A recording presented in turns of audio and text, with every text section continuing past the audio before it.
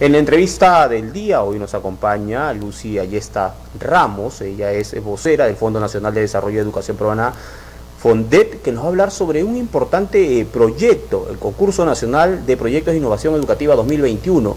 Pero antes, ella nos va a explicar un poco cuál es el trabajo, el rol que cumple el Fondo Nacional de Desarrollo de Educación Peruana. A ella le damos una cordial bienvenida. ¿Cómo estás, Lucy? Buenos días, bienvenida a ICA y Chincha TV, Canal 35. Buenos días Francisco, gracias por la entrevista. Primero un saludo a todos los docentes, a todas las maestras, maestros de la región de Ica, desde el Fondo Nacional de Desarrollo de Educación Peruana. El FONDEP es un fondo público, es una institución adscrita al Ministerio de Educación que eh, tiene como finalidad promover eh, e impulsar el financiamiento de proyectos de innovación educativa y desarrollo educativo en las escuelas. Y gestionar el conocimiento que se viene generando como un aporte a las políticas educativas desde una mirada territorial. En ese sentido, hemos venido trabajando durante estos 15 años eh, con las regiones, tratando de promover algunos concursos internos regionales y desde hace tres años con este estamos promoviendo el concurso nacional de proyectos de innovación educativa. ¿A qué se refiere? Sí, ¿a qué se refiere este ese proyecto? Coméntame un poco de, este trabajo que creo que es el, tercero que realizan, si no me equivoco. Exacto, justo estamos en la tercera edición y el concurso nacional de proyectos de innovación educativa tiene por finalidad incentivar la realización de proyectos, identificar a aquellos docentes y directivos que vienen desarrollando proyectos para garantizar un mejor servicio, efectivo para los mejores aprendizajes y sobre todo que son propuestos por ellos mismos a partir del contexto, su realidad y sus recursos que tienen y que son importantes visibilizarlos y acompañarlos a mejorar esas propuestas que tienen como un aporte de sistema. ¿Qué busca este proyecto? Aparte de ello, eh, no sé, fomentar la investigación, fomenta la innovación, las estrategias en cuanto a la enseñanza del país. ¿Qué, qué, queremos conseguir con este importante proyecto? Con este proyecto no solamente queremos identificarlos y ya bien ganaron, no, necesitamos reconocerlos también por el trabajo que vienen haciendo, pero además de ello lo que queremos es seguir acompañándoles a consistenciar de manera más eh, sostenida en el tiempo esos proyectos y puedan servir e inspirar a otras escuelas de la región y del país para que crean y confíen en que es posible realizar proyectos que no, que, no vengan desde la lógica de arriba hacia abajo, sino que surjan de abajo hacia arriba. Eso es importante en el marco del reconocimiento de todo el esfuerzo que realizan los maestros de escuelas públicas y en esta edición que incluye las prácticas. Pero me hablabas justamente del proyecto y yo quería conversar contigo sobre los antecedentes, porque si bien estamos en el tercer, en el tercer eh, concurso, en la tercera edición, ya existen dos anteriores. Entonces hay aquellos docentes quizás de las zonas rurales que no conocían sobre este importante proyecto y quieren saber eh, cómo se desarrollaron las dos primeras ediciones, qué trabajos ganaron, qué trabajos participaron, qué proyectos participaron en este importante concurso. en las dos primeras ediciones, la primera edición fortaleció eh, las ideas que surgían para implementarse todavía en proceso de implementación. Eran ideas, soluciones que los maestros consideraban que sean efectivas. Ahí hemos tenido una diversidad de proyectos, algunos que enfatizaban algunas metodologías ágiles, otros que focalizaban el tema de algunos recursos tecnológicos, otros que fortalecían el tema de la convivencia. Entonces, han sido diversos, diversos temas, las matemáticas, cómo han ido unificando algunas estrategias de matemáticas con el tema de indagación y comunicación. El año pasado, en el marco de estos desafíos que nos traía la pandemia, la cual estamos, eh, se empezaron, se abrió una segunda categoría, una categoría de proyectos que venían implementándose y realizando los maestros, pero también la categoría maestro, dime todo lo que estás haciendo, sea un proyecto chiquito, sea un proyecto grande, lo que vengas realizando para atender el servicio en esta coyuntura. Así sea un recurso, eso potenciamos el año pasado. Y hemos tenido novedades con algunas apps de zonas rurales, también algunas metodologías como el eh, Scrum, que hemos tenido este, propuestas en esta coyuntura y que han sido efectivos.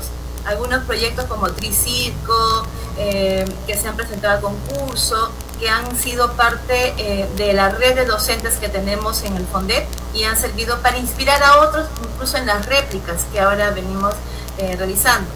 Este año lo que buscamos es ampliarlo, cada año sentimos que estamos evolucionando en esto, ampliar la cobertura privada, pero también darle una categoría a las instituciones educativas rurales que están con proyección a retornar a la presencialidad. Por eso es que la segunda categoría de nuestro concurso habla sobre categoría de proyectos profesores, que apunta a ideas que todavía no están implementadas, pero ideas que el maestro pueda concretarlas en algún documento, en las fichas que le hemos pedido, para que les sirva en un retorno a la presencialidad. Hemos tenido nosotros el año 2019 36 participantes de ICA y el año pasado 11 Ahora estamos designando a un especialista, eh, nuestro estimado Juan José Yupanqui, que se va a contactar con los eh, especialistas del André y UGER para que reciban la asistencia técnica y además el FONDEP en el marco de este proceso de identificar a los maestros, vamos a realizar una estrategia de llamadas por teléfonos a todos los que tenemos en datos para seguir motivándoles y ayudándoles para que puedan concretar su propuesta o su idea. Muchas veces el maestro se siente limitado en participar porque dice, no, ¿qué va a pasar? ¿Qué voy a ganar? Y, lo digo porque hemos tenido ganadores que nos decían esto. No pensé que iba a ganar, pero lo mío, a veces no valoran lo que están haciendo. Y cuando se gana, es un reconocimiento. Entonces, esta es una invitación para que los maestros digan, todo lo que estoy haciendo y siento y yo confío estoy logrando aprendizajes, preséntanlo, es tu oportunidad. No pierdan esa oportunidad de no solo ser ganadores y ser reconocidos, sino que también ayuden a inspirar a otros, porque eso es lo importante. Bien, lo que decía es que no, no sientan que, van a estar solos. Desde el FONDET estamos buscando estrategias que vamos a implementar y contamos con personas que van a empezar, especialistas, vamos a empezar a llamar a las escuelas para que se motiven y podamos acompañar las no tengamos el miedo, hay cosas que estamos haciendo, le damos la valoración que está dando a nuestros niños. Y no sabemos que si esto lo compartimos podemos inspirar a otras escuelas a que sigan eh, este sendero y este camino. O sea, convirtamos eso que estamos haciendo en faros para otras escuelas. Eso es lo importante. Así es, Lucy. El talento creo que en el Perú hay de sobra y los docentes, los profesores en nuestro país tienen mucho talento y yo sé que esto pueden explotarlo y pueden presentar muy interesantes proyectos.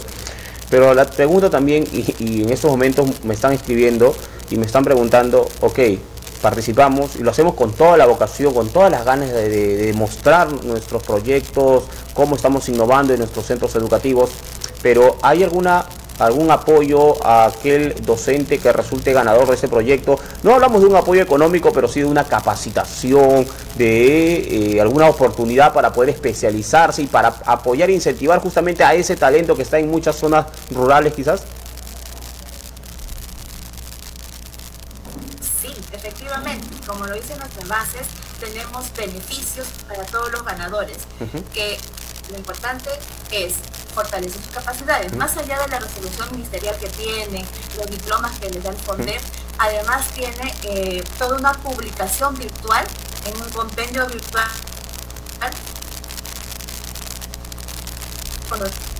generando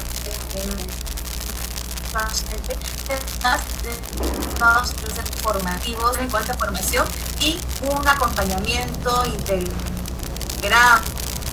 de gestión del proyecto durante un periodo de un año máximo. Ok, me, me dices que este, este proyecto eh, va dirigido a tanto docentes de colegios públicos como colegios privados. ¿Esta medida recién se está adoptando a partir de esta tercera edición o ya anteriormente se estaba aplicando? Sí, estaba ampliándose a privados en esta edición. Entonces, en esta edición hemos ampliado nosotros a instituciones educativas públicas y privadas. Así es que es la oportunidad para que puedan participar eh, ya independientemente de, la modalidad que se encuentre. Eh, ¿De todos los niveles? De todos los niveles de educación básica regular, básica especial y básica alternativa. Ok, eh, ya para culminar, dime, el proceso de inscripción, cuándo se ha aperturado, cuándo va a finalizar, dónde pueden inscribirse, dónde pueden comunicarse los docentes interesados que quieran pues mayor información sobre este importante proyecto. Gracias, Francisco. El concurso ha iniciado el día 22 de julio y está culminando el 30 de septiembre, 11 y 59. El proceso de registro es online a través de nuestra de nuestra plataforma. Pueden ingresar a la plataforma y al link fonde.gov.p slash red slash CNPE 2021 y ahí van a encontrar incluso las bases, van a encontrar dos guías por cada, una guía por cada categoría, van a encontrar dos guías, algunas preguntas frecuentes, también van a encontrar una estadística en la cual cada región puede mirar cuántos proyectos se van inscribiendo, en qué proceso están. Y este proceso termina el 30 de septiembre. El primero de octubre inicia el proceso de evaluación por un jurado experto en el tema hasta el 15 de noviembre y la publicación de resultados se da el 16 de noviembre. Y estamos confiando y esperamos que hayan ganadores de la región de Ica. Estamos muy seguros que esto va a suceder, eh, Lucy. Eh, de verdad, muchas gracias por compartir con nosotros aquí en el programa. Las puertas siempre están abiertas cuando ustedes deseen informar algo a la población, especialmente a los docentes de toda la región ICA. Antes de finalizar, y bueno, quizás tú también tengas algo más que acotar al programa y te vamos a dar el espacio necesario. Eh, el actual ministro de Educación, ¿me parece o fue presidente del Fondo Nacional de Desarrollo de Educación Peruana? Gracias, Francisco. Efectivamente, el maestro Juan Cadillo, él ha sido el presidente del Fondo Nacional de Educación Peruana hasta hace unos pocos meses y actualmente pues viene liderando el ministerio, el sector, y desde la mirada de fortalecer como uno de los ejes del tema de innovación educativa. Correcto, entonces como ministro y ha trabajado en esa área, sabe lo importante que es estos proyectos, creo yo que ahora va a mostrar un mayor interés justamente a este fondo. Bueno, nosotros confiamos desde, desde siempre que la innovación es un eje muy importante para poder transformar la escuela, pero sobre todo recogiendo la experiencia y los aportes del maestro en su realidad, en su contexto, desde una mirada descentralizada. Lucy, ¿algo más que desees acotar, algo más que quieras decirle a todos los docentes de todos los niveles aquí en la región de Ica? Sí, claro que sí. Nosotros como FONDET eh, no solamente les traigo el saludo del presidente Fonder, el señor Jaime Montes, sino también de nuestra gerenta Janet eh, Nadia Juárez. Pero eh, nuestra intención es, usted, maestro o maestra de la región de Ica, no deje perder esta oportunidad de participar en este concurso, ser uno de los ganadores y ser parte de la red de docentes e innovadores del FONDER a nivel nacional y que pueda inspirar a otros con estas acciones que viene desarrollando al servicio de la educación del Perú, que bien sabemos que actualmente hacen muchos esfuerzos y es una oportunidad que no deberían desaprovecharla. Así es. Ok, Lucy, muy amable, gracias, buenos días, estamos en contacto. Gracias, Francisco. Buenos días. Que le vaya bien. Hasta luego. Bueno, estuvo con nosotros la vocera del Fondo Nacional de Desarrollo de Educación Peruana, FONDET, dándonos a conocer este importante concurso nacional de proyecto de innovación educativa 2021 dirigido a todos los docentes, tanto de nivel inicial, primaria y secundaria, de colegios públicos y privados. Así que no dejen pasar esta gran oportunidad y presenten los proyectos innovadores que ustedes vienen realizando justamente para eh, mejorar la enseñanza, la educación en cada uno de los colegios de zonas rurales, zonas urbanas.